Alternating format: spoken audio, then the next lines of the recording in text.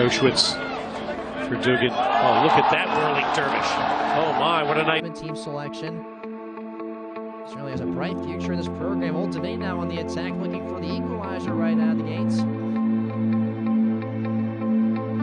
Here's the free kick, and it's in. The Old Dominion Monarchs just like that. Can't find his target. Same opportunity now running up the field. Victory. Victory inside the 18. Centered it in.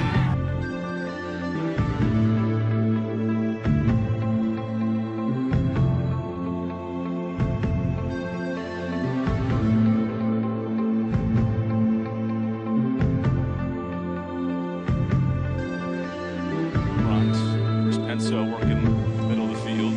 And what a strike!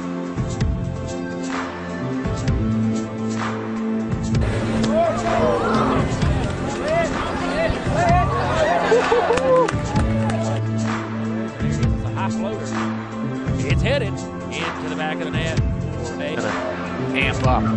Sebastian Ore into the match for the first time. Battling some knee issues. There's a nice look.